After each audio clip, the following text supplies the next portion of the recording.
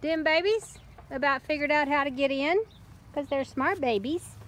Now they're down here at the big house. Yeah, look at them. Oh, we found, there's Victoria. She says, whoa, careful, that first step, that first, that first step will get you. That first step will get you. Who's out here in the doghouse? Well, careful. Out here in the doghouse? Well, I'll get you in something and everything will be okay. Look how much room you've got to run and play.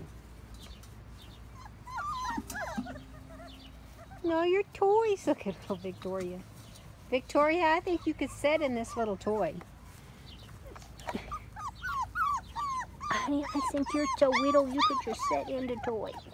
We think you could just set in the little, you could just set in the little train.